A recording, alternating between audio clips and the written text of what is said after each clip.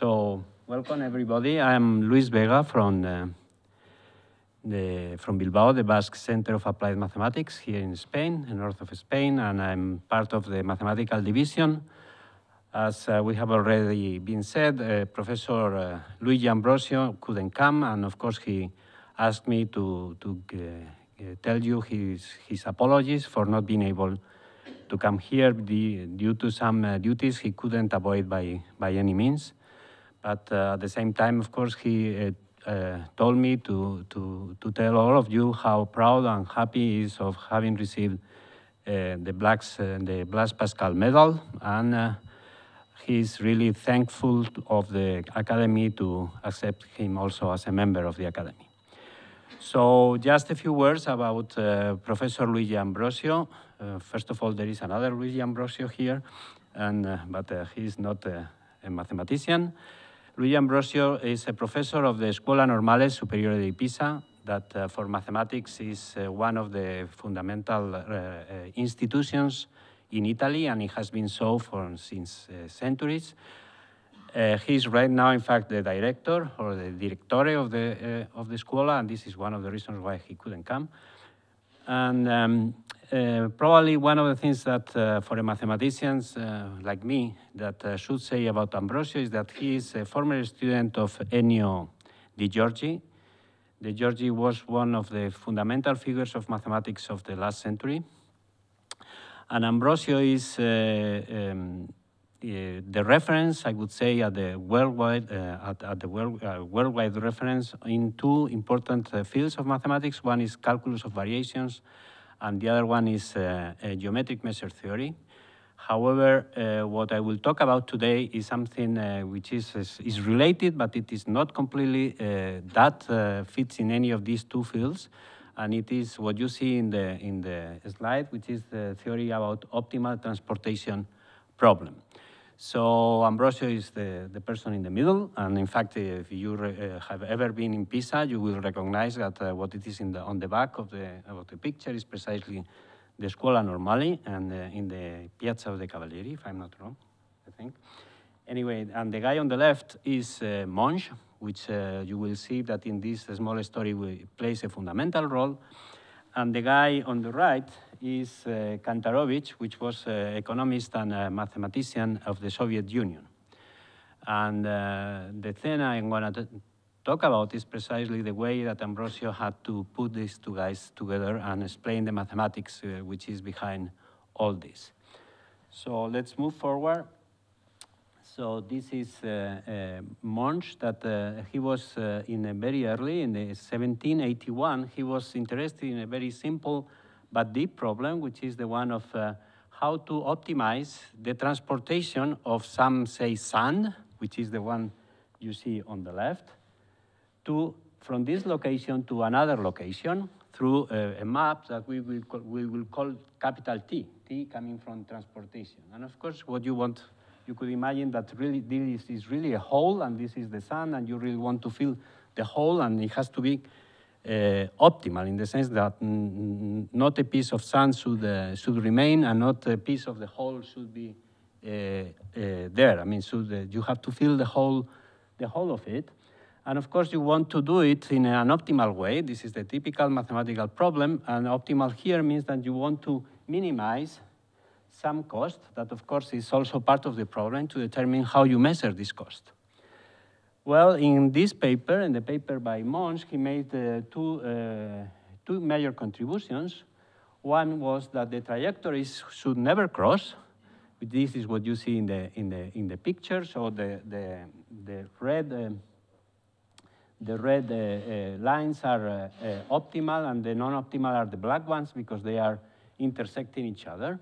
And the second one was something very deep, which is that he proved, in a sense, the normality in the sense of uh, probability of optimal traffic paths to some surfaces. In fact, this uh, was this proof was say not complete, and it was not completed until uh, 1884 uh, by Appell, and it was not an easy work. It was a 200-page work. Anyway, so the other guy that uh, I mentioned before and is playing a fundamental role in this, uh, uh, in, in, this story I'm telling you is Kantorovich, which, as I said before, was a, a, an economist and mathematician of the Soviet Union. And in fact, he received the Nobel Prize in 1975 because of his mathematical work in, uh, in, uh, in optimization, precisely, of, uh, of sources. but of, of the Nobel Prize, of course, was in economy. And from the mathematical problem, uh, from, from, the mathematical point of view, I'm sorry, he introduces in the, uh, in the problem three important uh, uh features. One is uh, that he proposes the problem from a relaxed point of view. Second, he finds a distance how to measure properly. And that means if you are able to measure properly, then you will be able at, uh, at least, well, if you are able to measure properly, then eventually you will be able to optimize the problem. And finally, uh, he found something that uh, is fundamental if you really want to solve the, the mathematical problem, which is what is the dual problem to the one you are trying to solve. Anyway, so uh, Kantorovich published his first paper in 1939, uh, and uh, as I said before, he was interested in economy, for example, ore from mines to factories. I mean, he made fundamental contributions during the world, uh, Second World War precisely in optimization of, uh, of the, uh, the productivity of different factories. And uh, all the mathematics he did in the 1939 was uh, completely independent in the, in the, sense that he was not aware of Monge's uh, paper. It was not until 1946, which was precisely the, the 200th anniversary of the, of the work of the uh, birth date of Monge that he learned about Monge's work. And now I have, I'm sorry, but I have to say uh, some mathematics because otherwise uh, I will not be able to explain what uh, uh Professor uh, uh, um, Ambrosio has done. So, well, I have to define a subset of the, of the um, Euclidean space of d dimensions. So in the, in, the, in the real problem, these dimensions will be two or three, but in economics, d could be whatever, and also in many things, that in many other applications that we will see later on, D can be whatever, all right? So then you have to define a cost function that has to be positive or it could, uh, at least non-negative. And now uh, it has two variables. One will be, and both variables will be x and y in the, in the set omega. And then you have two probability measures, y this is easy to understand because you have to one mass on the left that you want to put on the right, but the mass is always the same. So the, the, the, the full mass has to be a conserved, a conserved quantity, and then you normalize it to one, and this is nothing but a probability measure. So now, of course, you have to define the map, capital T, and capital T comes from from transport that you want to go to from, from the set omega into the set omega, and you have two measures, the uh, mu2 on the right, say, and the mu1, which is the push forward of, uh, of, uh, of the measure. So this is saying that mu2 is the push forward of the map T of uh, mu1. And now uh, uh, you define the distances between these two probability measures, and here is because of Monge-Kantorovich, but now it's typically to call this the Wasserstein's distance. But anyway, so this distance is defined in this way. You have the integral on omega, and you have to take the minimum of all the possible transports of the cost function, uh, where this is evaluated in x and y, but of course y will be uh, the, the, the, the, target. So you have transported x into y through capital T, and you measure all this through um, through the measure mu1 dx. This is the way that Monge uh, proposed it, while Kantorovich proposed it in a, most, in a, a more symmetric way. So instead of integrating in just in omega, so there is a misprint here, so this is, should be a double integral. You are integrating in uh, omega cross omega. The cost functions against a, a, probability, I mean a measure, mu of xy dxy. And now, what is the relation of this uh, measure with respect to the first two measures, mu1 and mu2, is that the first marginal, so you integrate the, the, the, probability measure with respect to y, and you obtain the first probability measure, mu1 of x, and now you integrate the measure mu with respect to x, and you obtain the second probability measure, mu2 of y. And then uh, this is a, a, a much uh, general way, and in particular, uh, and it's, it's, more symmetric and more flexible, so you recover the Monge uh, interpretation just by making this definition, where the, the mu of xy is precisely this measure where y and t is the one that appear here. All right, so let's move forward. So now, which were the contributions of uh, uh, Luigi Ambrosio uh, in, in this setting? Was, uh, first was to identify, and this is crucial, that the capital T can be seen as a gradient flow. So the capital transport can always be as a gradient flow, and then, for example, you can find one of the most simple uh, situations where the cost function is precisely just the, the x minus y to the, so it's the Euclidean distance to the square. And what he saw is that the, the t is optimal if and only if the t, as I said, is a gradient flow, and this of a function phi, and this phi satisfies what it is called the Monge-Ampere equation, which is precisely the one you see here. And what you see in the top is one of the fundamental contributions by Professor Ambrosio, which was this book that uh, he wrote with uh, Nicola Gigli and Giuseppe Savaré. This is, uh, uh was published, the first uh, edition was in 2004, and the second edition already appeared in 2008. And uh, from a mathematical point of view, this is a quite involved uh, uh, equation. This is a nonlinear PDE, fully nonlinear PDE equation. And uh, for uh, mathematicians, in order to speak about the solution is essentially the same as saying which is really the regularity of the mu i, and this is what Professor, precisely what Professor Ambrosio proved.